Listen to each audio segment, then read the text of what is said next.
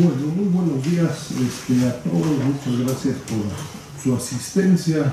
Eh, les recuerdo, estamos acá empezando eh, el semestre con el ciclo de conferencias eh, por parte del, Centro de Estudios China-México.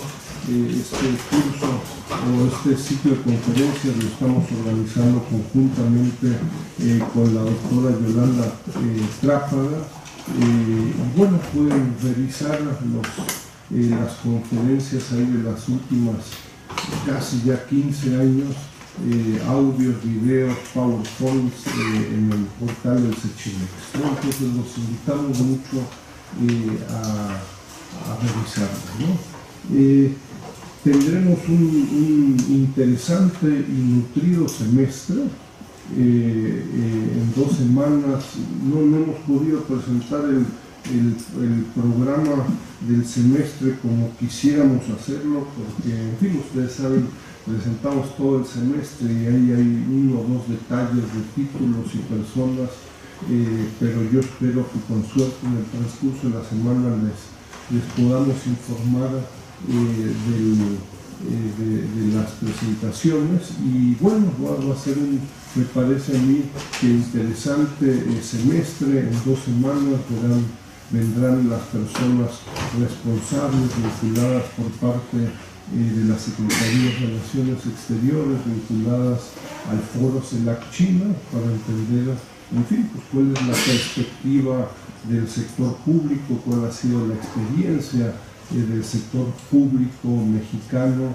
eh, en este foro CELAC China que hemos eh, destacado en muchas ocasiones y que creo que es un instrumento relevante en la relación con China desde una perspectiva regional y latinoamericana. en un mes vamos a tener un fuerte, e interesante documento, un esfuerzo que estamos haciendo conjuntamente eh, Simón, eh, que estamos coordinando, Simón Levy y yo, eh, sobre una propuesta de una agenda México-China con la participación de cuatro o cinco colegas, donde está participando también Comexi, Agenda Asia de Simón Levy y el Centro de Estudios China-México, y claramente con la intención, en fin, de hacer una propuesta de política en la coyuntura actual de los equipos de transición, etcétera, eh, en aras de, eh, en fin, pues plantear una diferencia, me parece, eh, en la relación con China, entre otros temas. Entonces vamos a tener, repito, un, interesante semestre con, un buen grupo de, actividades.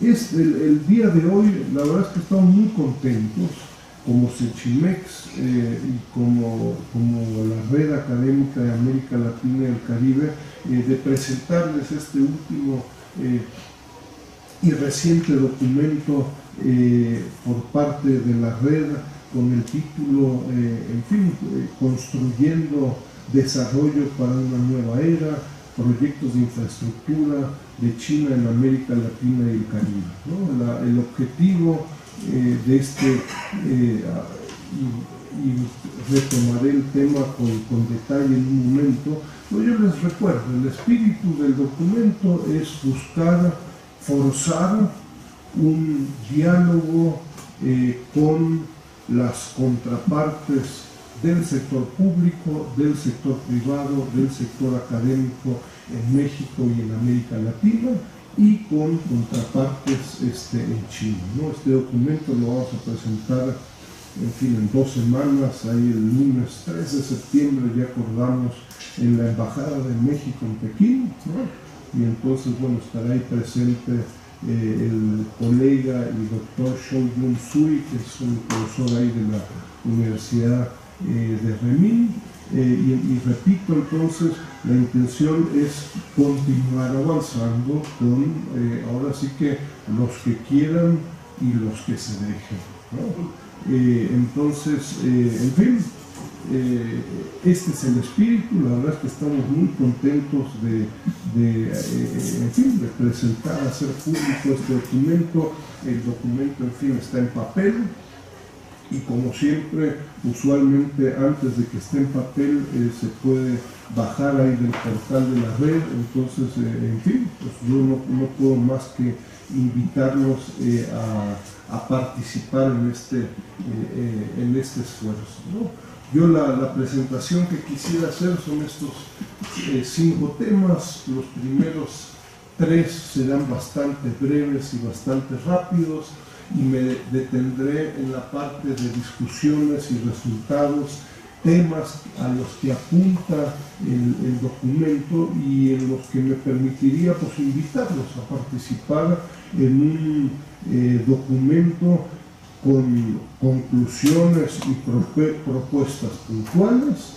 Ojo, les adelanto, en general es una invitación a mejorar la calidad del análisis, del examen de las propuestas de política económica en México, en América Latina y con China, en forma muy respetuosa, en forma muy cuidadosa, eh, pero en forma creo que bastante clara eh, y contundente. Eh, en fin, brevemente, no, no quiero acá perder mucho tiempo, pero simplemente les recuerdo esta red académica de América Latina y el Caribe sobre China, Red ALC China, tiene dos, dos sostenes, Uno es el Centro de Estudios China-México de la Facultad de Economía de la UNAM y el otro es la UDUALA. La UDUALA es la Unión de Universidades de América Latina y el Caribe. históricamente estuvo acá a un lado del eh, eh, del estadio de fútbol, eh, ahora está más bien por el centro, hoy en día encabezada ejecutivamente por el doctor Roberto Escalante, con contactos con más de 350 universidades en América Latina, y desde esa perspectiva la red que se creó formalmente en 2012 eh, eh, lo que la intención es de mejorar, profundizar, extender este conocimiento que se está generando en América Latina, también en el Sechimex y la UNAM, eh, socializar estas experiencias en la región. la red, yo les diría, tuvimos ahora hace un par de meses el cuarto seminario internacional, eh, pues hoy en día cuenta con alrededor de 500 miembros, más de 25 instituciones eh, chinas, latinoamericanas, de otros lugares. Creo que en general se ha convertido en un punto de referencia importante para estas discusiones, de ninguna forma el único. Eh, yo les recuerdo la, la expectativa de esta red es permitir un diálogo respetuoso, interdisciplinario, eh, pero, a ver, no pero, sino que tal vez ir generando un proceso de aprendizaje. Eh, esto se dice fácil, eh, en la práctica es más difícil, es decir, lo que exigimos en la red, a veces con mayor éxito y a veces con menor éxito, lo que exigimos en la red es un proceso de aprendizaje sobre los respectivos temas. Yo les recuerdo la la red tiene cuatro ejes temáticos, ¿no? uno es el tema de economía, otro es el tema de relaciones internacionales, un tercer tema, eje temático de la red es eh, el, tema de medio ambiente y agricultura y un cuarto tema es el de historia, cultura y aprendizaje del chino y del español en China. Eh, creo que esto ha funcionado bastante bien. Hay algunos ejes culturalmente que son más fuertes que otros, en términos de asistencia, de publicaciones, de miembros y, de otra índole. Eh, pero eh, por el momento me parece que la red se ha consolidado como este punto de referencia con publicaciones, con estadísticas, eh, con videos y, otros temas que, ustedes conocen.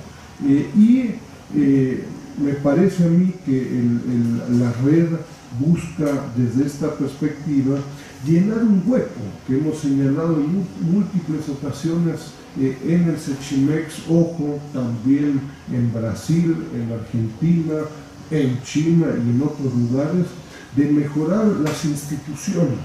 ¿no? uno de los principales resultados también en este documento, eh, pero de los que hemos venido realizando en los últimos eh, años y ya décadas de la red y el Sechimex, es que sorprendentemente las instituciones encargadas, responsables de la relación con China a nivel regional, a nivel bilateral, en México, en Perú, en Belice y en China, son sorprendentemente muy débiles. Y mientras estas instituciones públicas, privadas, académicas, continúen siendo tan débiles, la relación bilateral regional tiene débiles bases para mejorar y dar saltos cualitativos, que es una de las indicaciones como indica el, documento. ¿no? Es decir, estamos en condiciones de dar saltos cualitativos en la relación, pero ante débiles instituciones, las bases y el fundamento eh, dejan que desear. En ese sentido, yo de ninguna forma la intención es plantear que la red es la única institución, hay cantidad de instituciones bilaterales regionales, en dos semanas estará acá eh, la parte pública que participa en el foro CELAC China, entre otros. Eh, no es la única la red, pero la intención es desde una perspectiva de largo plazo proveer información, discusiones, debates en forma heterogénea eh, en este diálogo creciente eh, con China. Yo les recuerdo, pues tenemos ahí la red, tiene una cantidad de publicaciones, un esfuerzo eh, realmente muy grande de colegas desde 2012, resultado de, de estos seminarios estamos haciendo cada dos años, 2012, 14, 16, 18, el próximo evento será en 2020.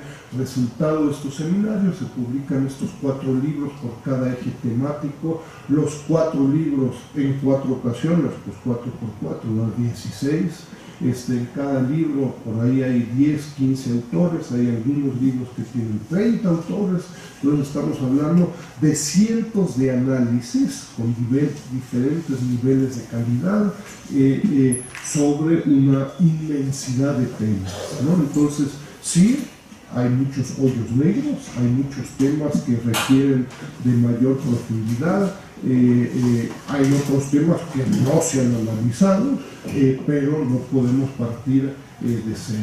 Entonces hay temas que en los últimos años hemos venido trabajando con ciertos detalles. Todos estos documentos pueden revisarlos y bajarlos gratuitamente. Y la verdad es que digo soy coordinadora en esta red así es que no soy muy objetivo al respecto pero llama la atención los, las docenas, en algunos casos cientos de miles de revisiones, de, downloads, bajas de los respectivos documentos. Eh, en fin, hoy en día los medios digitales permiten ver si se bajan de China, de Estados Unidos, de Japón, y esto se puede llevar al absurdo. Eh, llama la atención el interés que generan eh, estas publicaciones.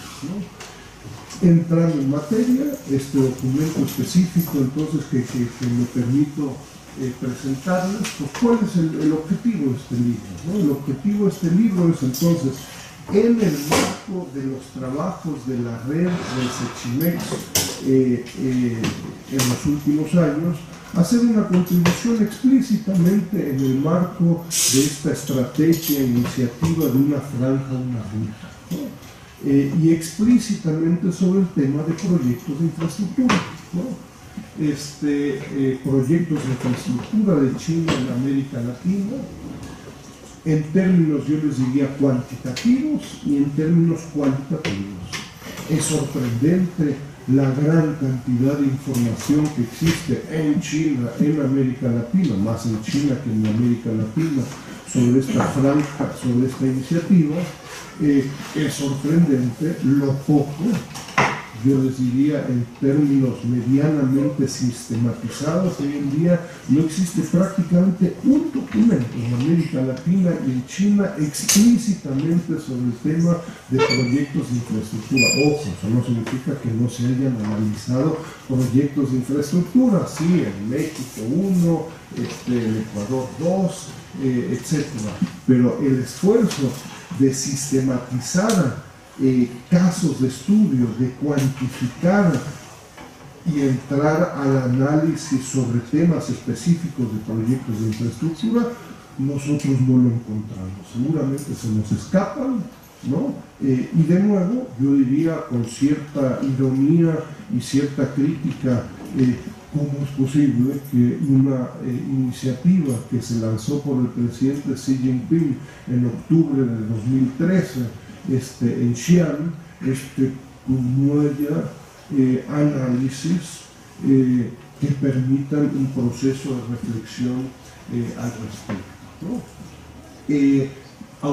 objetivos adicionales, yo les diría, del, documento son, y como señalo acá, dependiendo de la capacidad del autor, y del de los, este, ¿cómo se dicen?, de los antecedentes de los respectivos autores, este, dependiendo de ellos, permitir un análisis de proyectos de infraestructura de casos de estudio. ¿no? Y de poco sirve una discusión de pues, quién está a favor y quién está en contra puede ser relevante, puede ser interesante, nos parece, y si ustedes ven el trabajo que ha venido haciendo la red y el Sechimex en los últimos años, eso no es suficiente. Podrá ser en términos de conclusiones finales, hacemos una encuesta, quién está a favor y quién está en contra. Nos parece relevante permitir estudios de caso y aprender, aprender de cosas que están saliendo bien y cosas que están saliendo mal. Este proceso de aprendizaje nos parece solo se puede llevar a cabo con base en estudios de caso. Eh, y sorpresas de la vida, pues habrá casos interesantes, habrá casos exitosos en términos del medio ambiente, de eh, eh, encadenamientos hacia adelante, de transferencia de tecnología y sorpresas de la vida, pues habrá otros casos que no son exitosos y que son fracasados, como se analizan en el, en, el, documento. Y la propuesta, dependiendo de nuevo de los antecedentes de los respectivos autores, es pues, de permitir un debate sobre estos casos de estudio a nivel nacional, a nivel eh, regional, en los respectivos países. Es decir, la, la intención, el objetivo es estos análisis tienen impacto de política económica o debieran tener, digo, lo de menos es pues quién sabe de quién hablan, este, se me resbala, pues ha de ser de enfrente, creo que no, lo veremos en un momento. Y yo les, eh, eh, destaco que el documento eh, fue resultado de un largo proceso de, de diálogo, de, tiempos, de presentaciones, que duró prácticamente dos años. Es decir, la, la, primera ocurrencia, si ustedes quieren, eh, fue en 2016 en un evento de LASA, eh, donde con un grupo de amigos eh, empezamos a, elaborar un proyecto al respecto. en octubre de 2016 se realizó un seminario en la Universidad de Ramín sobre este tema. en China existe una academia de latinoamericanistas que se reúne cada año un año se reúnen los jóvenes y otro año se reúnen los seniors, ¿no? Entonces nos tocó en el 2016 que este evento anual se realizara en la Universidad de Ramín este, de los jóvenes, ¿no? Este, hubo alrededor de unas 150 eh, eh, eh, académicos y no académicos interesados en América Latina en la Universidad de Ramín y eh, el tema de proyectos de infraestructura se presentó en tres paneles, ¿no? Y desde ahí iniciamos un largo y les puedo asegurar que muy dificultoso proceso eh, que refleja la dificultad y yo les diría la, la, falta de preparación hoy en día en América Latina y en China de abordar temas puntuales. ¿no? Es decir, en América Latina fue muy difícil eh, conseguir a estos nueve autores, siete autores eh, latinoamericanos, bueno, seis latinoamericanos, cinco latinoamericanos, dos estadounidenses, dos chinos. Llegar a estos nueve autores eh, fue muy complicado, ¿no? Es decir, en un, auditorio de 150 personas en Pekín, en la Universidad Renmin, que no es cualquier changarro, ¿no? Este, plantear quién quiere participar en un proyecto con estas características y de 150 personas, enorme silencio. ¿no? Este, eh, silencio por falta de conocimiento, por falta de capacidad. Ojo, todo esto lo hacemos con muy limitados recursos, entonces no somos el Banco Mundial donde le podríamos decir, a, eh, tenemos acá eh, no sé cuántos miles de, dólares por, por capítulo, etcétera, no es el caso pero refleja de nuevo el poco conocimiento puntual y concreto de temas, y esto se hace repetitivo en la experiencia de la red y de Sechimex en los últimos 10, eh, 15 años, la dificultad de concretar y puntualizar aspectos entre China y América Latina, más allá de una franja, una ruta, más allá de un diálogo y la cooperación sur-sur, eh, etcétera, en donde desde una perspectiva latinoamericana existe poco conocimiento sobre China, ¿no? y se sigue creyendo en una China, una abstracción, ojo, y en China también existe poco conocimiento y diferencias entre eh, pues, las Malvinas y Mexicali, ¿no? y se cree que pues, todo eso es América Latina, eh, y, oye, y Cuba qué? Cuba qué de qué, no conozco, no sé, y ya si quieres ponerte a discutir proyectos de infraestructura de China en Cuba, quién quiere, quién puede, quién le quiere dedicar, este, pues mañana te hablo.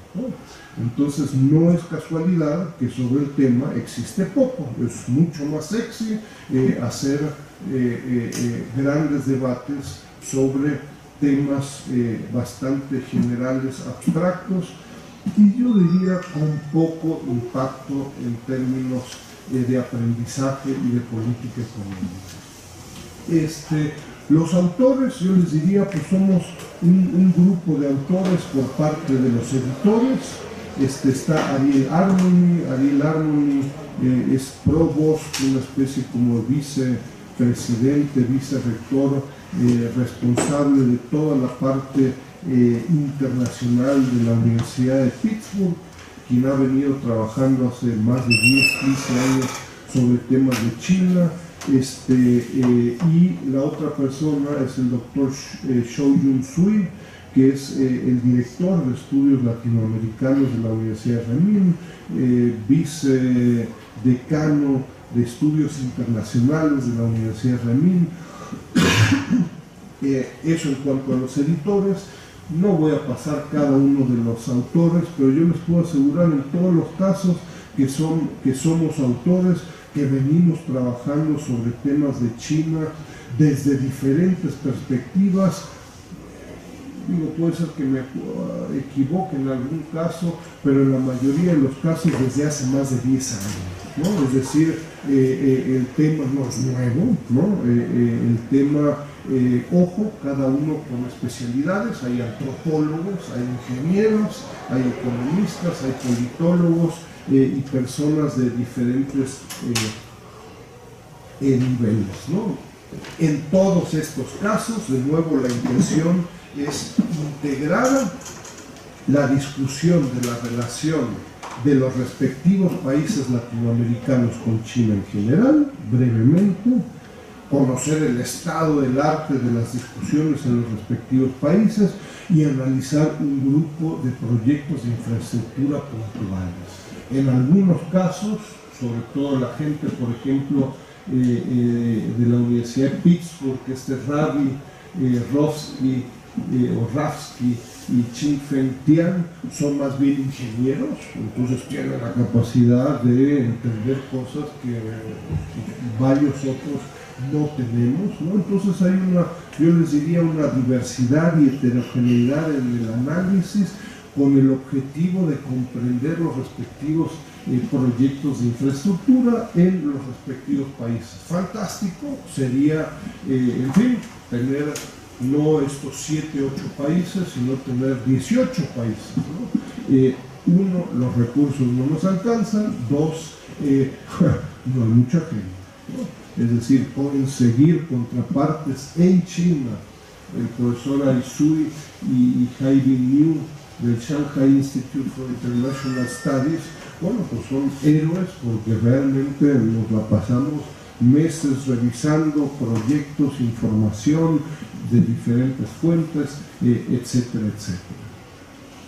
Eh, yo les diría cuáles son algunos de los resultados del del, documento, se podría hacer una presentación de cada uno de los capítulos. Los invito a hacerlo, son, eh, eh, yo les diría, eh, documentos muy heterogéneos, en donde algunos tienen una perspectiva, yo les diría, más basada en preocupaciones ambientales, ¿no? otros más preocupados, interesados en temas eh, de organización industrial, de comercio, ingeniería, transferencia tecnológica, eh, etc. Entonces, cada eh, uno de los respectivos análisis, pues para empezar, presenta información sobre los respectivos proyectos en forma medianamente homogénea. El, el documento y en términos, yo les diría, de antecedentes, se circunscribe en lo que crecientemente hemos venido discutiendo, presentando, invitando, lo cual genera aversiones, etcétera, a buscar sistematizar y estructurar la relación de América Latina y cada uno de sus países con China. Es decir, es importante concentrarse, especializarse en temas específicos, los jugos verdes, ¿no? En donde empezamos con tantita cultura, no se olviden del comercio y sí, la iniciativa de la franja y la ruta es relevante y después de 20 páginas terminamos en que la cooperación entre China y México debiera ampliarse y profundizarse. Yo les diría eso en el 2018 siendo diplomático y benevolente no es suficiente.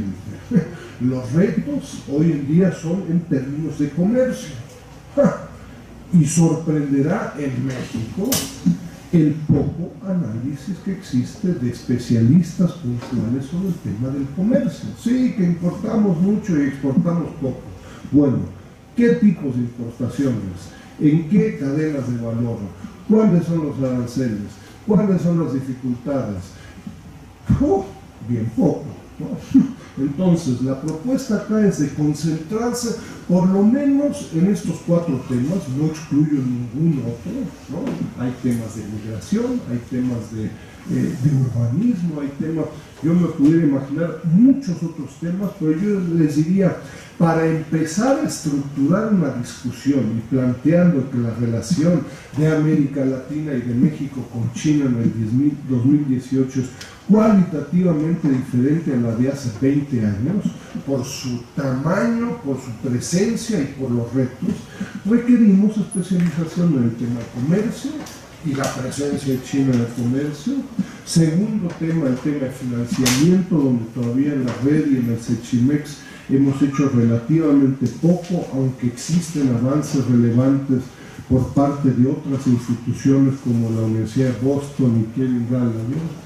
Tercer tema, el tema de la inversión, ¿no? es decir, China está invirtiendo masivamente en América Latina y en México, cómo, por qué, en qué sectores, qué impacto está generando, etcétera. Y sobre el tema existen muy pocos estudios de caso, diferencias entre empresas, entre telecomunicaciones, mineras, soya, eh, etcétera, etcétera. Y por último, yo les diría proyectos de infraestructura y lo que se conoce técnicamente como proyectos de llave en mano.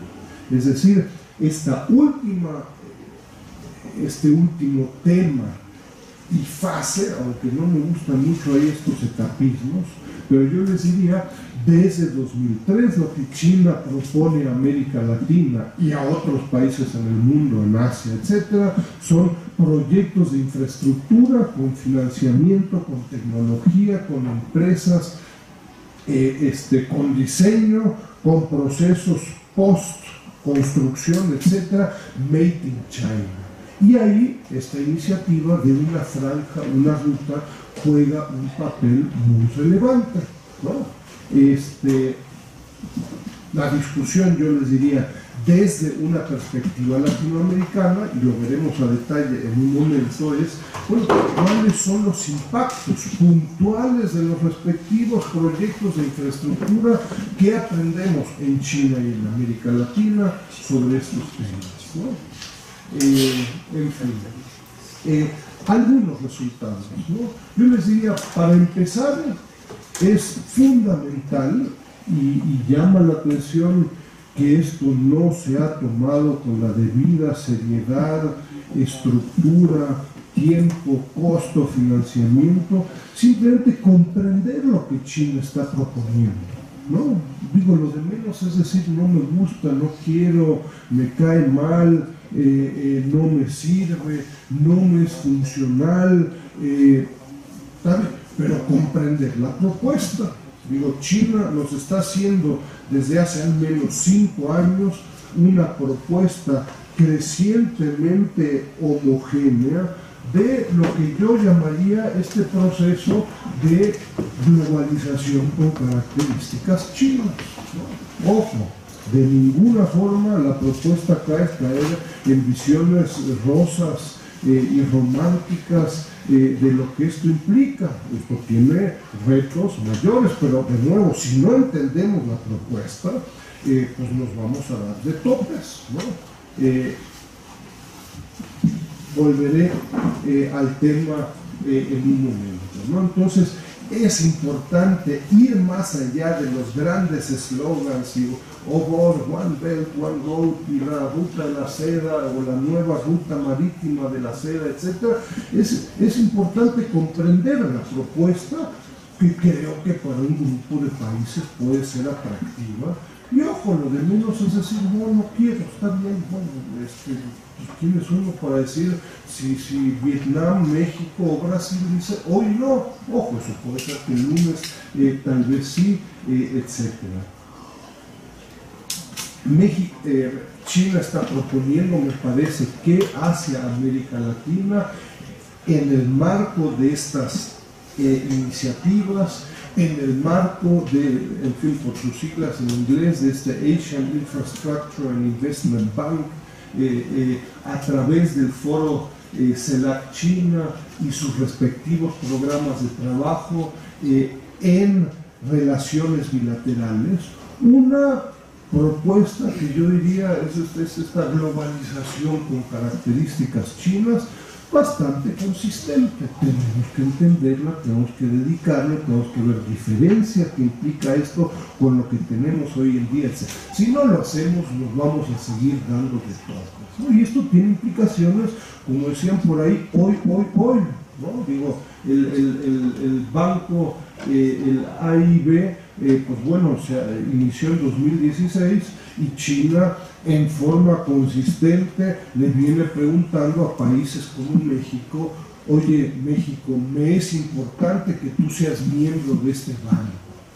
Te va a costar poco, no me tú no vas a ser el principal accionista, no te va a costar mucho, puede ser una fuente de financiamiento, etcétera porque no somos miembros de este banco. No hay a quién preguntarle hoy en día a México, ¿no? Si alguien dijera, no, no queremos ser porque no nos conviene, ah, bueno, está bien, pero simplemente no hay con quién discutirlo. Entonces, insisto de nuevo en eh, dedicarle tiempo y a instituciones a comprender la propuesta china. Eh, si eso no se hace, pues seguiremos dándonos de topes y entendiendo un día una delegación y después viene otra delegación y, las contrapartes latinoamericanos eh, solo eh, eh, responden, wow, qué coherencia, oye, ya viene la tercera delegación china y todos hablan de la iniciativa de una franja y una ruta, qué bárbaros, ¿no? Uno diría, cuando empezamos en México y en América Latina a entender que ese es el tema desde una perspectiva china, más allá si nos gusta o no nos gusta, ¿no? Este, eh, y el tema entonces yo les diría del grado de preparación institucional en China y en América Latina para comprender estos proyectos de infraestructura, infraestructura ya entrando en materia en forma más puntual. Tenemos capacidad, digo, para no irnos por las ramas, en México, en Honduras, en Ecuador y en China para temas institucionales, técnicos, sociales, ambientales, financieros, etcétera, que son afectados por estos proyectos de infraestructura o no. Me temo que la mayoría de los casos simplemente no estamos preparados, ¿no? porque seguimos con una visión muy general, muy abstracta en América Latina de China y no entendemos las características chinas de estos proyectos de infraestructura, de las empresas chinas, del financiamiento, etcétera de poco nos sirve después de, decir, después de cinco años decir, no, es que la verdad es que yo nunca estuve de acuerdo, no entendí lo que querían estas empresas chinas. ¿no? Uno dice, oye, pero tú antes de eso firmaste N contratos, estuviste de acuerdo, pues sí, ya cuando ya uno diría eh, en el divorcio, pues las quejas pueden ser muchas, ¿no? Eh, es importante prepararte y saber con quién firmas, cuál es su, perspectiva de corto, mediano y largo plazo, etc. Entonces, me parece y me temo que el grado de preparación, ojo, en ambos lados, en América Latina y en China, lo veremos en, términos puntuales en un momento, en el mejor de los casos no es adecuado. No le estamos dedicando en las instituciones regionales, bilaterales en China y en América Latina suficiente al tema. Algunos resultados. Eh, primer tema, yo les diría relevantes y en términos de buscar diferenciar proyectos de infraestructura con comercio, con inversión extranjera, con, con, eh, el tema de financiamiento, es muy importante eh, simplemente aclarar el tema. ¿no? me ha tocado, uno, pues en fin, hace propuestas y con eso uno se gana enemigos, ¿no? Pues quién eres tú para decirme que es un proyecto de infraestructura. Pues si a mí me parece que, Huawei eh, eh, invierte en México y yo lo defino como un proyecto de infraestructura, pues quién eres tú para decirme que no. Mira, yo no soy nadie para decirte nada, pero una inversión extranjera directa es en el registro y cualitativamente diferente a un proyecto de infraestructura. Un proyecto de infraestructura es un servicio. En forma idónea, un país, uno pudiera imaginarse eh, eh, este, un proceso de licitación, un proyecto privado, usualmente son públicos, ¿no? Quiero que me construyan una red Wi-Fi en Colima o requiero un puerto Chiapas en no sé dónde, eh, ¿quién quiere? ¿No? Bueno, pues hay tres meses, seis meses en el proceso de licitación, eh, debates técnicos, financieros, corruptelas, Odebrecht, etc. y gana la empresa X. ¿no? Y según el proyecto, esta empresa X, en este caso China, eh, participa en este proyecto y después de seis meses o seis años, esta, esta empresa, eh, en fin, realiza lo que se definió en el proyecto. Y al final del proyecto, la empresa que participó en este proceso de licitación, le entrega las llaves del puerto, de la red Wi-Fi, de la carretera, de la infraestructura es amplia, ¿no? de una hidroeléctrica, etcétera, y Comisión Federal de Electricidad, el gobierno del Estado, etcétera, toma la llave, tú me pagas, y como dicen por ahí, y chao. ¿no? no tiene nada que ver con Huawei invirtiendo en una planta de manufactura en Guadalajara para producir PCBs. Eh, pues, ¿De quién es la propiedad de la inversión de Huawei? Pues te va a decir Huawei, pues no entiendo la pregunta. ¿Tuya? No es, es mía. ¿no? Eh, eh, entonces, repito, es una racionalidad, contratos, etcétera, no comparables. Ahí me han llamado por ahí la atención, no conozco casos, pero claro, no pudiera imaginarse casos extremos en donde eh, empresas participan en licitaciones y después se convierten en los operadores de esa infraestructura. Entonces, bueno, son casos límites, si ustedes quieren, eh, y eso ¿Qué se considera? ¿Se considera una inversión o se considera un proyecto, una inversión extranjera directa? Eh, en fin, uno puede llevar esto al absurdo, eh, pero, son, eh, pero entonces reitero la importancia de la diferenciación. Proyectos de infraestructura no son comercio, no son financiamiento, no son este, inversión, ojo, tiene una parte de financiamiento, por supuesto, no es de que no haya procesos de financiamiento, pero es el tema del registro, veremos en un momento, es importante.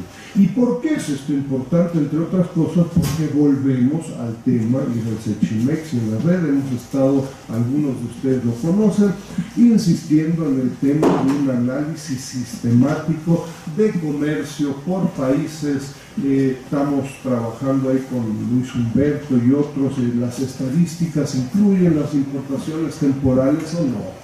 ¿no? Eh, China comercia con Panamá. ¿Incluye las importaciones y el comercio con Panamá o no? ¿El canal de Panamá o no? pues no es lo mismo, ¿no? Eh, imagínense si se registra lo que pasa por el canal de Panamá, pues oh sorpresa, pues estamos hablando de una relación comercial de China con Panamá de 10 a 1, ¿no? Pues todo lo que fluye por el canal de Panamá, ojo, eh, va a 20 países, nada se queda en, en Panamá. En el tema de inversión, en el monitor de la OFI hemos estado haciendo todo un esfuerzo de mejorar las estadísticas macroeconómicas resultantes de la contabilidad nacional. Lo mismo sucede en el tema de proyectos de infraestructura. Sí, la iniciativa de una franja, una ruta, México tiene necesidades, igual que Honduras, Brasil, Argentina, de proyectos de infraestructura. Dirá oye, ¿cuántos proyectos de infraestructura de China existen en América Latina? Pues ha de haber muchas fuentes. Búsquenlo. ¿no? La mejor fuente hoy en día es probablemente este Chinese eh, Global Investment Tracker de la Heritage Foundation. No, no, no, no es mi intención acá de hacer ningún apoyo a esta fundación, etcétera, eh, donde tiene un, donde hacen un esfuerzo de registrar inversión y proyectos de infraestructura, ojo, de pésima calidad. Es decir, entiendo por qué y los que han participado en, esto, pues saben por qué, pues porque es muy fácil decir, eh, eh, China Railway Corporation dice que va a construir un tren rápido en México. Eh, pues tengo una persona que eso se dedica, pues ahí lo pongo, ¿cuántos? 50 mil millones de pesos, saludos. Oye, ¿qué crees? Nunca se construyó, híjole no le pidas peras del horno, ¿no? Eh, eh, ¿Qué crees? Pues no solo en México, sino que en Bolivia, y de pronto tienes empresas chinas que realizan cuatro o cinco proyectos, eh, cancelan dos de los tres originales, hacen otros cuatro, es un, es un proceso, los que han participado en eso, muy pesado. Entonces, uno se encuentra con que instituciones como la CEPAL, el BIR, la este, CGIT, este, registran proyectos de infraestructura, el CGIT registra más de 150 proyectos de infraestructura de China en América Latina, 2000-2017, con un equipo de trabajo de estudiantes, de asistentes, hemos estado revisando cada uno de estos 150 proyectos de infraestructura, con el apoyo además de miembros de la red de los respectivos países latinoamericanos y nos quedamos con un registro muy diferente, es decir, no son 150 sino que son 70, ¿no? Y 70, 70, no 69, no 71, sino que 70 proyectos de infraestructura que China ha realizado en América Latina eh, y muy diferentes a los que registra varias de estas instituciones. Reitero, no existe un análisis medianamente sistematizado sobre el tema proyectos de infraestructura de China en América Latina, ni en China ni en América Latina. Llama la atención. De nuevo, en términos diplomáticos, es una invitación a. Entonces, con la, la estadística y los registros, meses de trabajo, varios de ustedes han estado participando en esto y se trata de dedicarle un par de horas y en algunos casos un par de días a, hay casos muy fáciles, ¿no? Pues si el tren rápido no se construyó, listo. Después hay otros proyectos pesqueros, eh, eh, hidroeléctricas, que pues llevan años de discusión, que se realizan, no se realizan, etc. Entonces, esta información, el banco de datos está disponible ahí en la red, 70 proyectos de infraestructura con información de cada uno de estos proyectos de infraestructura eh, sobre el año en que se realizó, inició, el monto, el empleo que genera este proyecto de infraestructura con diferentes tipos de empleos, la empresa china y un par de otras columnas. Entonces, esto nos lleva, por ejemplo, a lo que pongo acá en, el, en, el, eh, en la lámina, ¿no?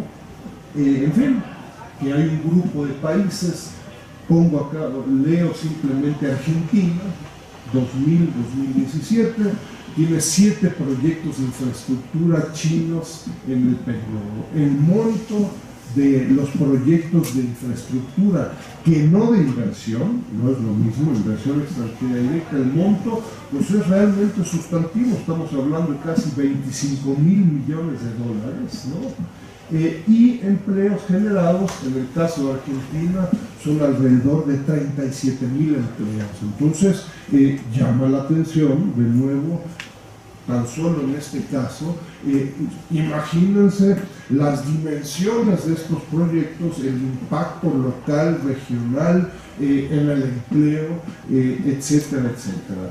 Entonces hay información por país, por año, etcétera. ¿no?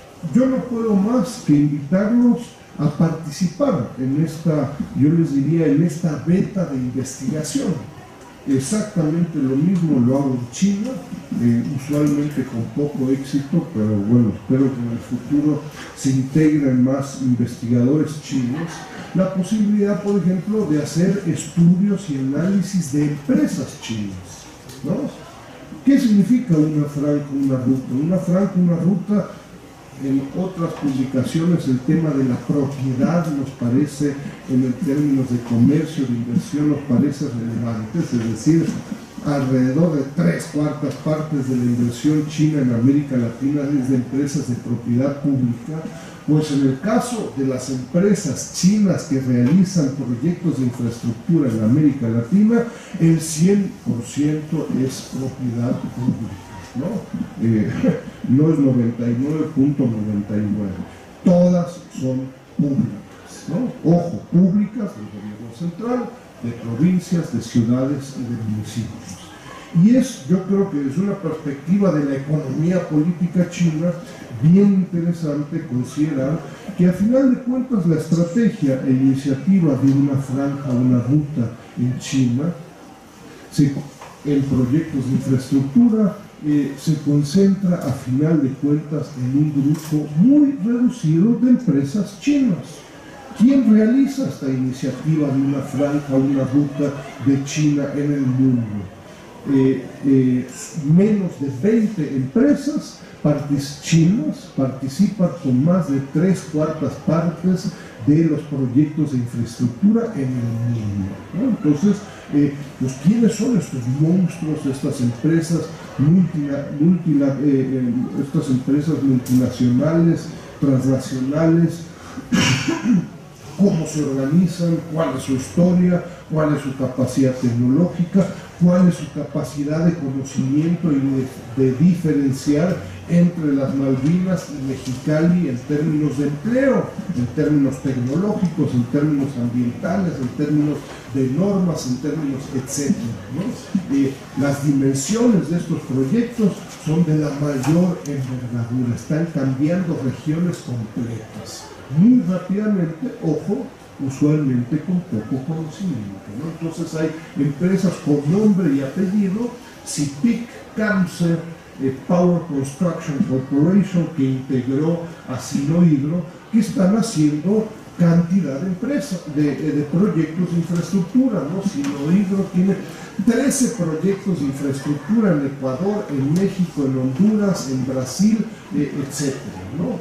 Eh, con montos de inversiones diferentes. Cada proyecto de infraestructura es diferente. Hay algunos proyectos de montos muy altos, más intensivos en capital, etcétera, etcétera, uno pudiera, eh, en fin, digámoslo así, es una invitación analizar estas empresas. Imagínense el impacto que estas empresas chinas tienen en las relaciones políticas.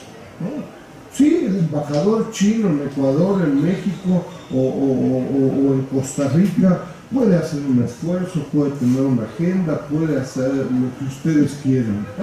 Eh, si una de estas empresas que contrata a 5.000 personas las trata mal, pésimo, se enferman, la comida que les dan, la, lo que maltrata, etc., yo diría eh, buena parte del esfuerzo político, diplomático, etcétera, por, por eh, eh, una empresa se viene abajo por decirlo así. Entonces, un enorme potencial, yo les diría, de investigación común, conjunta entre investigadores peruanos y chinos y ecuatorianos y chinos y solo chinos y solo ecuatorianos y mexicanos, etc.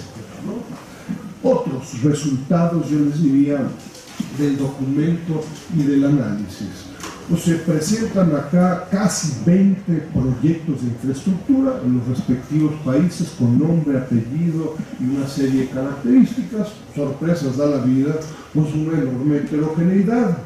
Pero el tema no significa que uno no pueda decir nada. ¿no? Sí, heterogeneidad entre las empresas, es decir, eh, China Railway Corporation, eh, eh, sus proyectos de infraestructura, algunos fracasados, otros exitosos, son diferentes a los de signo oído, pero lo que llama la atención también es una enorme heterogeneidad de las mismas empresas en diferentes países, es decir, sin oído en términos de eh, contratación de fuerza de trabajo, en términos de contratos con proveedores locales, nacionales, etcétera, trabaja en forma muy diferente en Trinidad y Tobago, en Honduras, en Brasil y en México. Y eso veremos en un momento lleva a una serie de preguntas y conclusiones. En general, yo les diría, en los países latinoamericanos y en las empresas chinas encontramos poca preparación puntual para proyectos tan sofisticados y tan complejos como lo son proyectos de infraestructura. Es decir, si le hacemos caso a esta propuesta etapista de comercio, financiamiento, inversión extranjera directa y proyectos de infraestructura, proyectos de infraestructura implican un grado de complejidad muy sustantivo. Es mucho más fácil decir, oye, pues voy a importar un par de baterías, eh, eh, pues ya, te haces bolas, en el mejor de los casos te las dejo eh, en Lázaro Cárdenas, tú te responsabilizas del resto.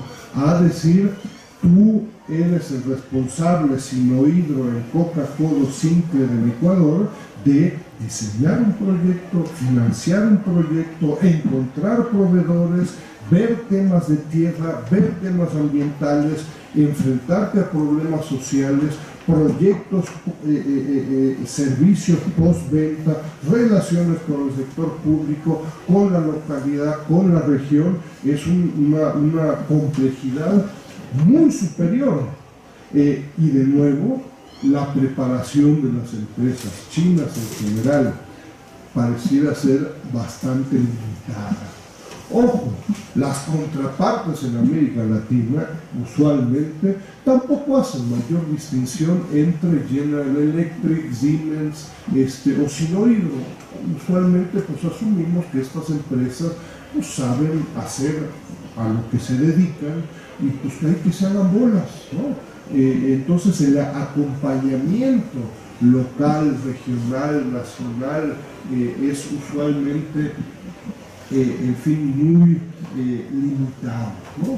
no existen o no nos ha tocado en ninguno de los estudios nacionales de los países que acá se presentan, no hemos detectado instituciones especializadas en China o en América Latina, nacionales o regionales latinoamericanas, especializadas en la temática. ¿no? llamó la atención. Digo, estamos hablando eh, de nuevo de proyectos de infraestructura por más de 60 mil millones de dólares y todo indica que esto va a seguir creciendo en forma sustantiva. ¿Cuáles son las instituciones? ¿Quiénes son las instituciones en China, en América Latina, en México, especializadas para proyectos de infraestructura china?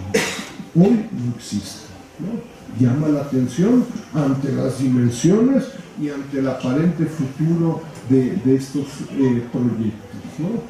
Eh, usualmente, con muy pocas eh, excepciones, el grado de integración de estos proyectos de infraestructura en términos de subcontratación, en términos de proveeduría, el grado de integración de estos proyectos de infraestructura es muy pequeño.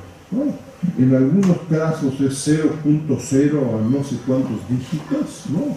Eh, en algunos casos pudiera ser que fuera superior, ¿no? Es decir, se, constatan acá casos, no sé, el estadio de fútbol, eh, una donación de infraestructura, el estadio de fútbol eh, de, Costa Rica, ¿no?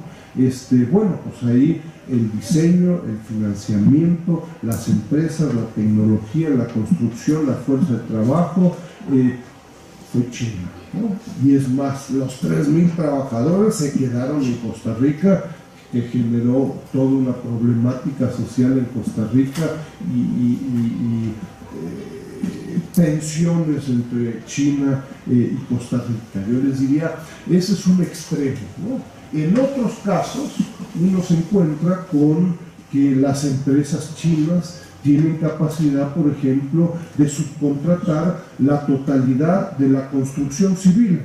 Acá el, proyecto de Chicoacén 2 a las afueras de Tuxtla Gutiérrez, eh, en fin, hubo 4.000 trabajadores trabajando en una hidroeléctrica. Eh, por parte de dos empresas mexicanas. Los trabajadores nunca se enteraron de que esto tenía algo que ver con China. La totalidad, repito, de la construcción civil, que fue una participación importante en el monto total del proyecto, eh, se realizó 100% por parte de constructoras mexicanas. Entonces, eh, en fin, hay diferentes grados de construcción, eh, grados de, integración. Ojo, lo que China hoy en día ofrece de primera ah, no de primera mano, pero lo que China ofrece hoy en día son estos proyectos de llave en mano, llave, pero bueno, llave en mano, Este, es decir, yo te ofrezco el paquete completo. Tú me firmas acá abajo que estás de acuerdo y después de seis meses, seis años o lo que fuera, me pagas. ¿no? Yo te ofrezco del diseño a procesos eh, después de la entrega la construcción, procesos post-servicio y el grado de integración en un principio puede ser cero. Yo tengo la capacidad de ofrecerte la totalidad del servicio. ¿no? Y es parte de un proceso de discusión, es decir, oye, eh, el ron, yo produzco ron, y, también produzco arroz para, para, que los para que los trabajadores coman. Y por cierto, pues también produzco tornillos. Y por cierto, también y empieza un estire y afloje eh, eh, donde pues, la contraparte china dirá, oye, por los libres tornillos, pues todo esto se retrasó seis meses, eh, etcétera, etcétera. Un, debate, pero yo les diría una, una interesante flexibilidad el que piense que todo en, los proyectos de infraestructura de China en América Latina, forzosamente por ley, por norma, todo viene de China, pues, no ha estudiado, no ha entendido la heterogeneidad existente. Digámoslo así, las empresas chinas tienen la capacidad de integrar procesos y empresas locales y regionales a, si estas existen, ¿no? Pues si no, ¿qué caso tiene? Y B, si las contrapartes en América Latina así lo exigen, ¿no? Eh, la modernización del tren Belgrano, un caso muy interesante de Leonardo, Leonardo Stanley, ¿no? que se realizó por un grupo de empresas chinas con toda una controversia de los organismos y las empresas argentinas que dicen, oye, eh, buena parte de lo que tú estás importando e integrando a esta modernización del tren, pues lo hacemos en Argentina, quiero integrarme. Pues nunca dijeron que no, pero la realidad fue que NO no. Bueno, pues entonces la totalidad de los organismos empresariales argentinos liderados por Techín todos en contra de los proyectos de infraestructura chinos. ¿Por qué? Pues porque no puedo proveer un tornillo, ¿no? Bueno, volveremos al tema y estoy ya terminando. Eh, este, llama la atención de que, como todo, pues existen proyectos y proyectos en países yo les diría con mayor grado de éxito y mayor grado de fracaso. Personalmente, pero bueno, esto está a debate, ¿no? Eh, me parece que el caso de Ecuador es de los casos más interesantes y más exitosos. Los invito a revisarlo. La propuesta ahí de Paulina Garzón eh, eh, es un análisis crítico desde una perspectiva no solo, pero también ambiental. Todos estos proyectos tienen impactos sociales, ambientales, eh, eh, fiscales y de endeudamiento, etc. Pero claro, en, yo les diría poco más de cinco años, los proyectos de infraestructura de China en Ecuador permitieron, permitieron cambiar lo que dicen las autoridades eh, ecuatorianas permitieron cambiar la matriz energética diametralmente. Si hace poco más de cinco años Ecuador era un importador de petróleo y energía, después en, en, un periodo relativamente rápido se convirtió en un exportador de petróleo, pero hoy en día también en un exportador de electricidad. ¿no? Entonces, cinco o seis grandes proyectos de hidroeléctricas eh, permiten eh, que eh, tan solo una hidroeléctrica, Coca-Cola Sinker, produce el doble del consumo de electricidad de la capital de Ecuador, ¿no? ¿Esto tiene impactos ecológicos y ambientales? Sí, sí los tiene. Personalmente, me parece que es mejor una hidroeléctrica que seguir consumiendo petróleo, pero está debate, ahí verán en el documento argumentos eh, contrarios a ello, etc. Pero lo que llama la atención es que ni en América Latina, pero tampoco en China, se ha sabido o empezado a permitir un proceso de discusión de cosas que han salido bien. ¿no? Si yo fuera el sector público chino, claramente no lo soy, ¿no? yo diría, oye, en Ecuador hemos hecho cosas interesantes que han permitido en un breve tiempo cambios cualitativos relevantes, yo hasta me permitiría decir hasta interesantes y relevantes en términos ambientales, ¿no? ¿no? Ahí Yolanda y otros miran, no, no, las hidroeléctricas tampoco, está bien, pero eh, digámoslo así, eh, eh, la producción y consumo de este tipo de energías me parece más interesante que continuar con el consumo de energía fósil. Y ojo, y hay otros casos extremos donde las cosas han salido muy mal. El otro extremo es México. En México, de tres proyectos de infraestructura, los tres han fracasado. Entonces ahí en el capítulo de, México se, plantea simplemente, pues estuvo lo del Dragon Mar, estuvo lo del tren rápido, estuvo el, proyecto de, de Chicoacén 2, solo se analizan dos casos, el caso de eh, eh, eh, el tren rápido y el tren de eh, Chicoacén 2, 3 de 3, 100%, ¿no? fracaso. de nuevo, lo de menos es decir, híjole, qué fracasados estamos, etc. Lo demás es plantear qué aprendemos para que esto no vuelva a suceder en Ecuador, en Perú, en México, en Honduras y en otros lugares, ¿no? Sobre temas específicos ya, ¿no? Si el financiamiento de China es una palanca importante en China, en América Latina, etcétera, llama la atención nulo conocimiento, análisis sobre cuáles son las condiciones de financiamiento puntuales y concretas que ofrecen las instituciones y las empresas chinas.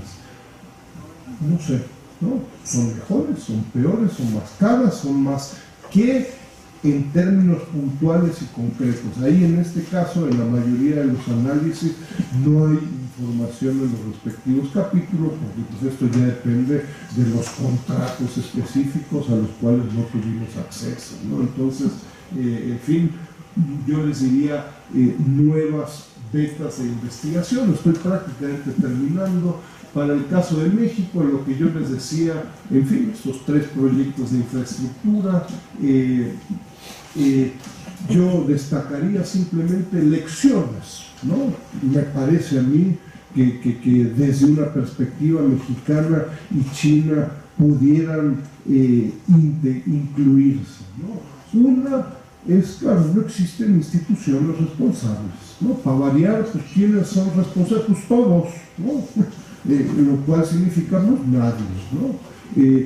Eh, en el caso concreto de Chicoacén 2, les repito, una, una hidroeléctrica de 405 millones de dólares eh, que ganó una empresa sin oído en enero del 2015, se, después de 23 paros en un año y medio, donde pararon los pescadores, los maestros, lo, lo más faltó que parada también el Sechimex ahí, pues, este, yo diría, 23 eh, paros y desde julio del 2016 el, hay el, es el paro más largo y hace un año el proyecto de infraestructura se canceló. ¿Quién es responsable de 23 paros? Pues de nuevo, pues todos, nadie. Es el gobierno del Estado de Chiapas, es la Secretaría de Gobernación, la Comisión Federal de Electricidad ha interpuesto demandas, eh, eh, en fin, ¿a quién le interesa que el proyecto se lleve a cabo? Pues no he conocido a ninguno. Ojo, tampoco a la Embajada de China. ¿No? Es decir, creo que la Embajada de China en México pudiera haber tenido una eh, actividad mucho más eh, eh, proactiva en el tema. Acá no hay ni buenos ni malos, el resultado es que realmente pocas instituciones interesadas en un proyecto que yo creo que tecnológicamente, ambientalmente y desde otras perspectivas es interesante. Este, la falta de preparación de las empresas chinas es impresionante, ¿no? Digo, llevamos a cabo entrevistas ahí con la gente de Sinohidro, de los proveedores eh, o subcontratados mexicanos, etcétera, eh, las personas que venían de Sinohidro no cumplían y como decimos acá, no daban el ancho para entender una situación tan compleja como la de Chiapas que raya o no en la ingobernabilidad. ¿no? Y en donde pues cada uno dice, pues acá hay dinero, pues acá pago para ver cuánto me toca, ¿no?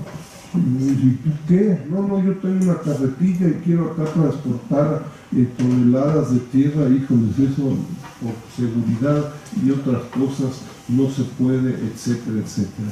Estos proyectos de infraestructura, por sus dimensiones, por su impacto social, ambiental, tienen un enorme costo, no solo económico, pues, ¿qué crees? Pues claro, las dos empresas mexicanas constructoras dicen, oye, llevo dos años trabajando, un año y medio trabajando en la construcción civil, pues ¿quién me paga? Y la Comisión Federal y otros dirán, pues ¿quién te paga de qué? Pues tú prometiste que en dos años ibas a tener el 90%, vas al 40%, yo no te puedo pagar. Oye, le he dedicado acá varios miles de millones de pesos. Eh, en fin, debates legales, entonces hay costos económicos pero hay costos políticos, no solo en México, en Honduras, en Ecuador, etc. La caída del proyecto de infraestructura del tren rápido México-China congeló la relación de México y China durante más de un año. Y si uno va hoy en día a China y decir, oye, fíjate que México pudiera ser interesante, ¿eh? decir, oye, ¿y el tren rápido qué? Pues acá cómo nos trata. No estoy diciendo quién tiene razón y quién no va más allá del costo estrictamente económico. ¿no? Uno diría, oye, pues cuántos trenes rápidos y fracasos aguanta la relación México-China. Creo que no muchos. ¿no? Y en cuanto los medios chinos empiecen a publicar que no todo fue el tren rápido, sino que hay un caso de Chicoacén 2 donde la cosa y el costo es incluso mucho mayor, yo creo que la cosa se va a poner color rojo o negro. Eh, termino, yo les diría algunas propuestas, hay propuestas específicas en cada uno de los documentos que se vierten, ¿no? Este, me parece que todo apunta a que se requieren concretar y puntualizar eh, eh, los retos en comercio, en financiamiento, en inversión y en proyectos de infraestructura. es, no es suficiente seguir en un debate, repito, eh, poco especializado y particularmente ante la enorme complejidad de estos proyectos de infraestructura. Es muy fácil decir, si los culpables son los chinos, ah, bueno, y, los otros dirán, no, no, no, son los mexicanos, ah, bueno, eh, no, no es tan fácil, hay una falta de preparación común y en donde a final de cuentas estos proyectos de infraestructura funcionan por casualidad. Y bueno, pues puede ser que por casualidad funcionen 80% de los proyectos, 90% de los proyectos o, 100% fracasen. ¿no? Este, son casualidades ante la falta de preparación de, ambas partes. ¿no? Este, eh, Creo que acá las instituciones públicas, privadas, académicas juegan un papel muy importante. ¿Qué hacemos para que las cosas que funcionan bien se repitan y para que las cosas que no estén funcionando bien no se repitan?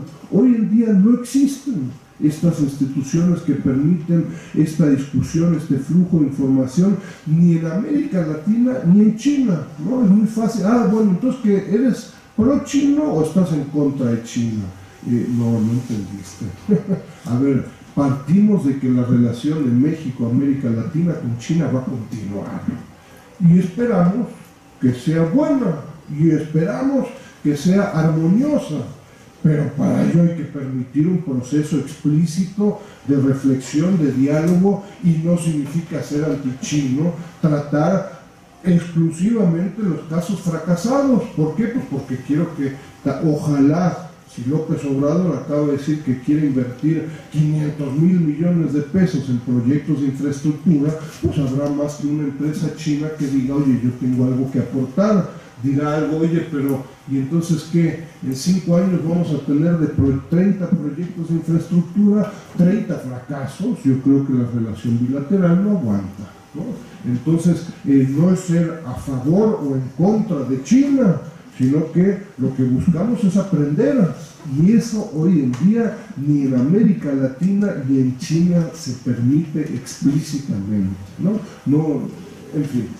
Eh, en fin, lo, dejaría, creo que lo, dejo ahí. Entonces es una invitación a, a, participar, profundizar. Creo que hay una enorme cantidad de, de, posibilidades de, mejorar el análisis, las reflexiones sobre estos temas en China, en América Latina y de puntualizar propuestas muy específicas. Al final de cuentas estamos hablando, a ver, la cooperación sur-sur, México eh, de China con los países latinoamericanos en la iniciativa de la franja y la ruta, etc.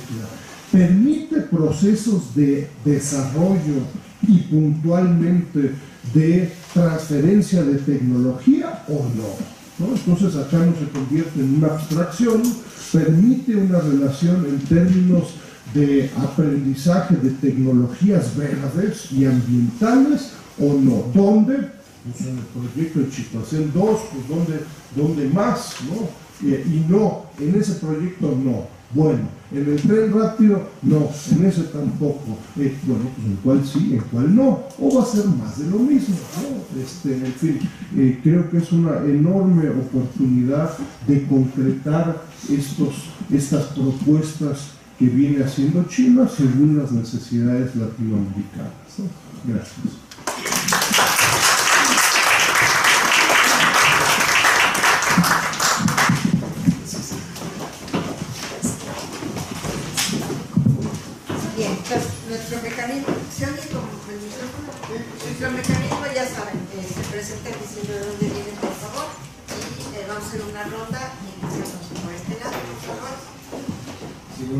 Llamo Andrés Luis Furro, soy seguidor de este Chimex, por el gran interés que implica para, para nuestro país.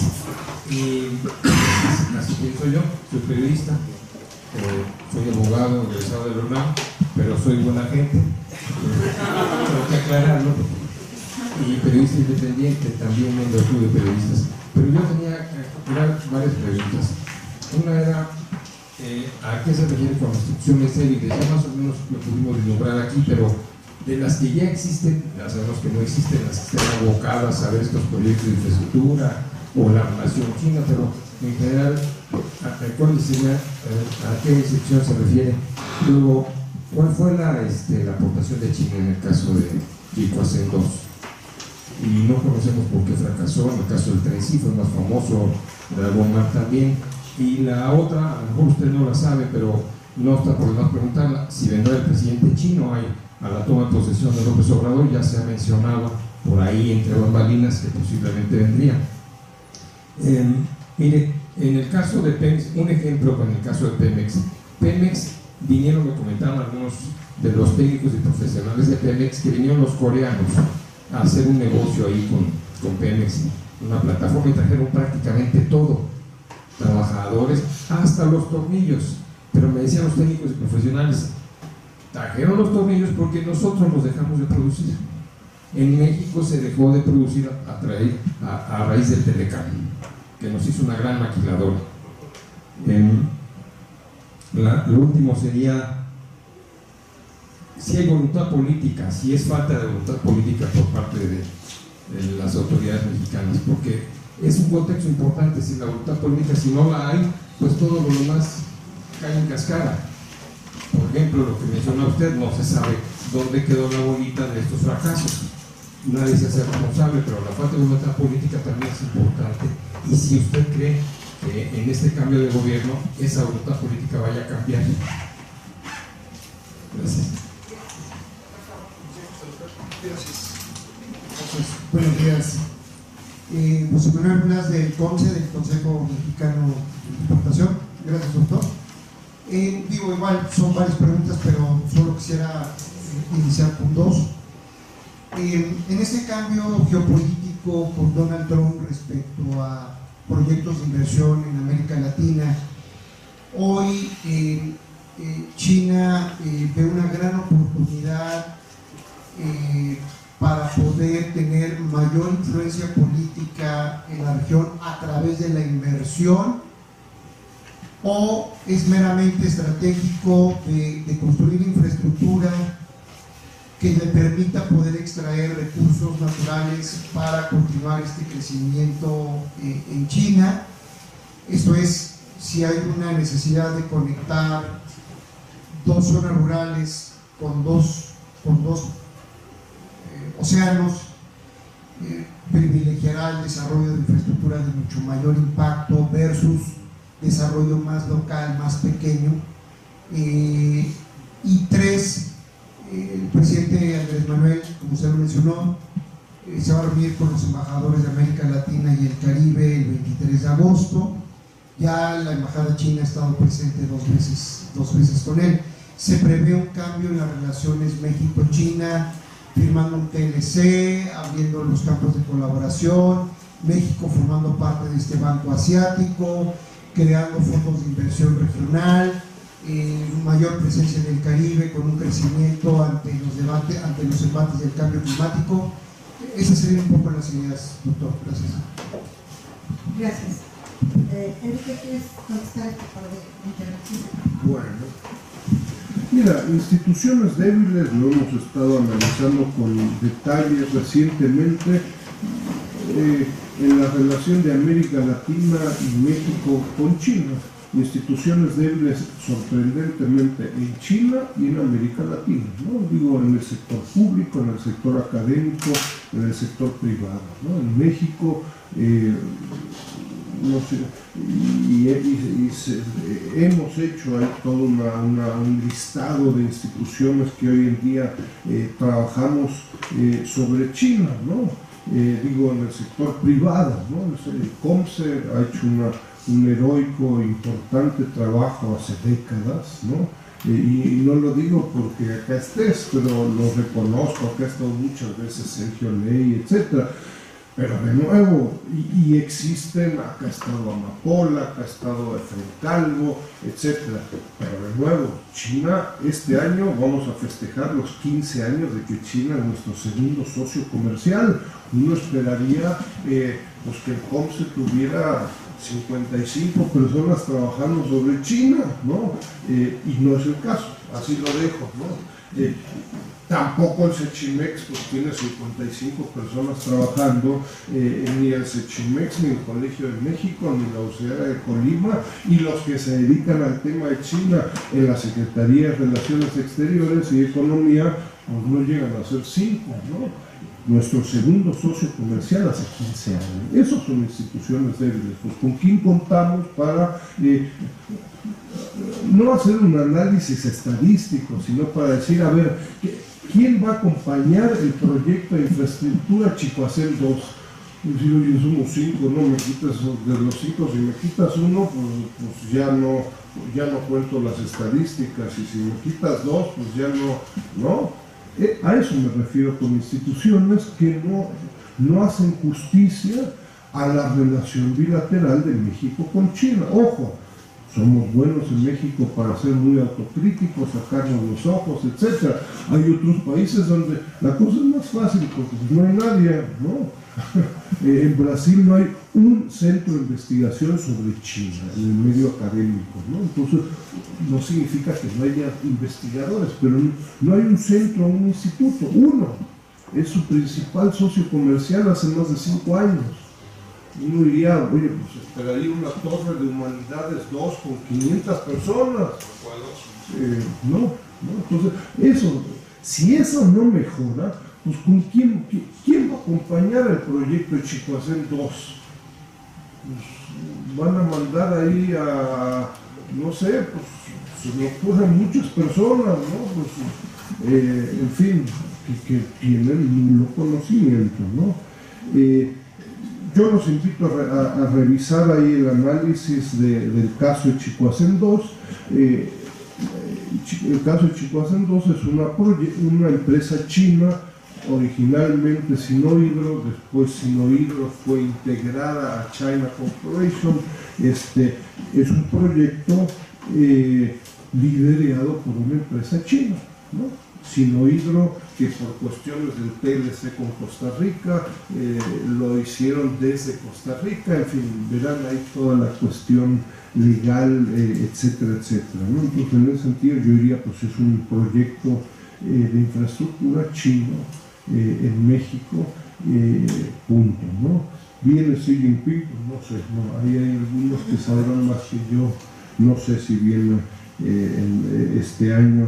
De nuevo, los proyectos de llave en mano, coreanos, alemanes, chinos, etcétera, tienen un enorme, a ver, digámoslo así, como usuario es muy fácil, ¿no? Pues yo quiero esto, tú me lo entregas y, nos vemos en dos años, ¿no? Tú te responsabilizas.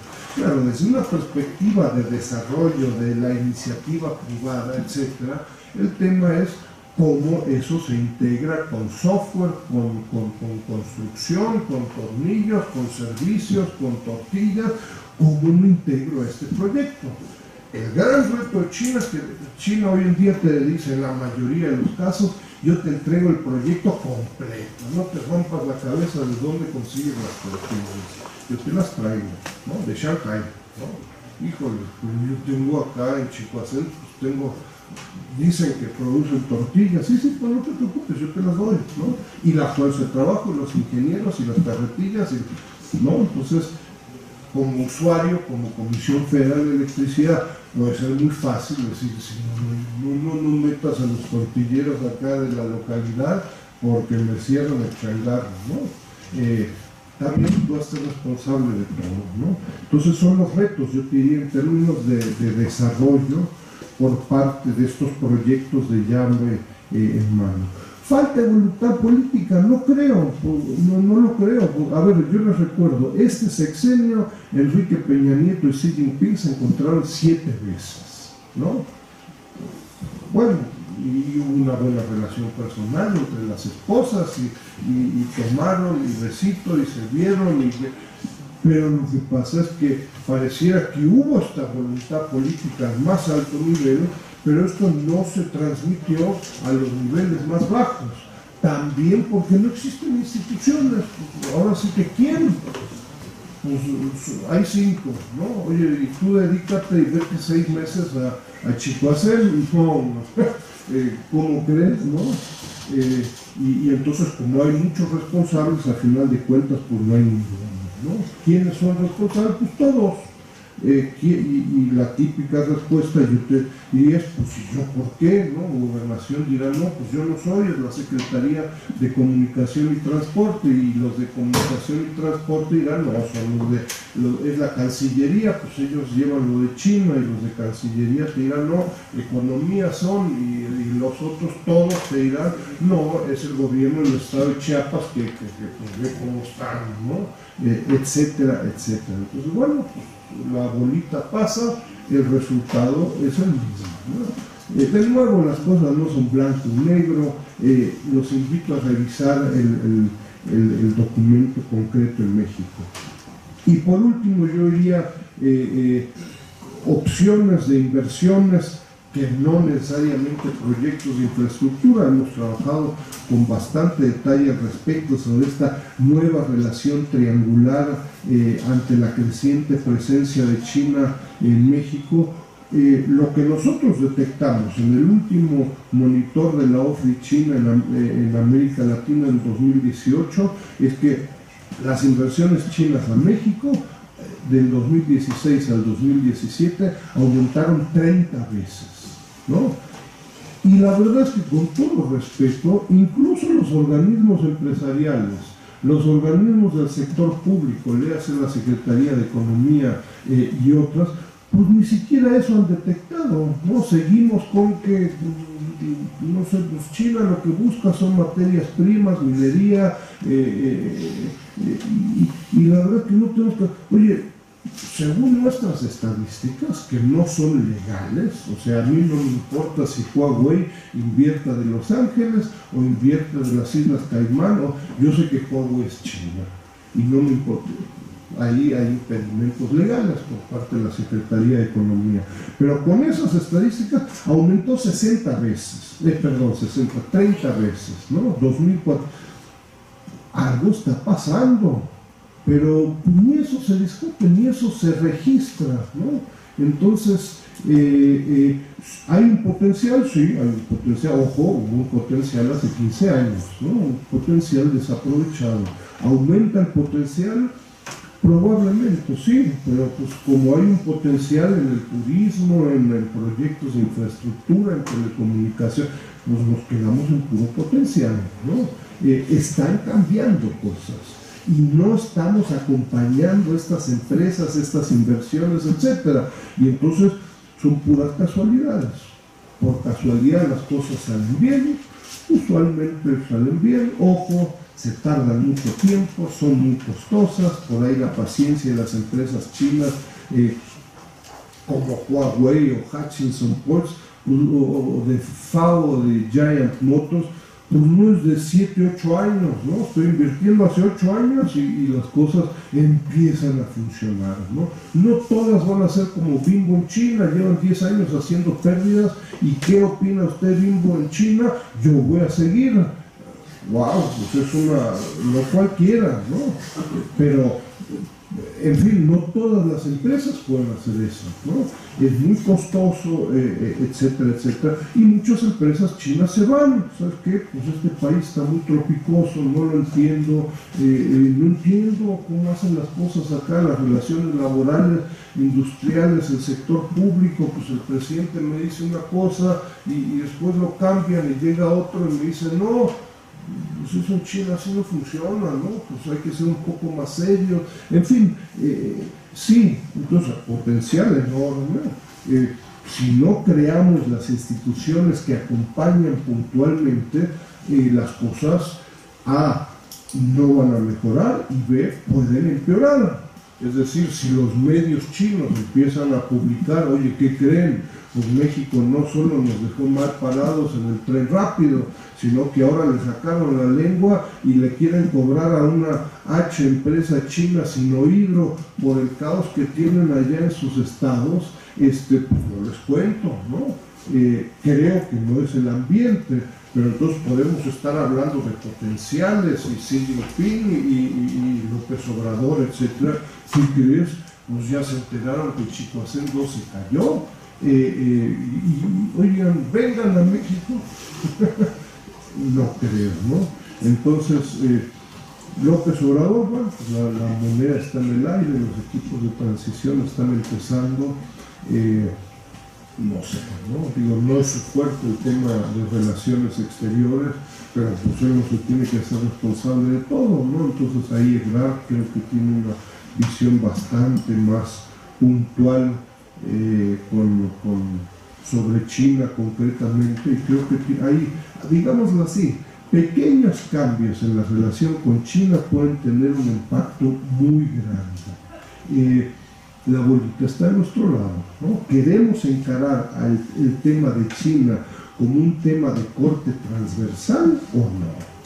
Si va a ser, si, terminamos el primero de diciembre con que China va a depender solo de la Cancillería o solo de la Secretaría de Economía o solo de Hacienda o solo de Cultura, estamos mal. China es un tema corte transversal. Porque si no va a decir la Secretaría de Cultura y, yo, Chiconcén dos, no, no, no. Eh, o, le dices a Economía, oye, hazte cargo del año de la cultura, te contaré, eh, etcétera. ¿no? Entonces es de corte transversal, se requieren grupos de trabajo especializados anteayer. Tenemos todo para hacerlo. ¿no? Eh, ojalá y se hiciera. Gracias. ¿Alguien más quiere participar? Bien, si no, pues les agradecemos mucho su asistencia y ya saben que está disponible el nuevo congreso en línea y desde el Valle Físico. No se tarden en consultar. Gracias.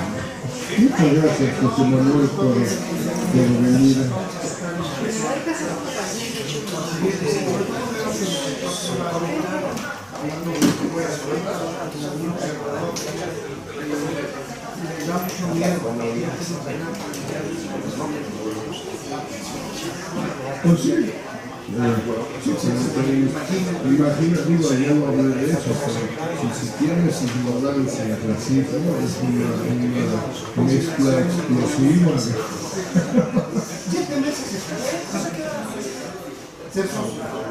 Eh, eh, y tú estás en el, en el área de, de Asia.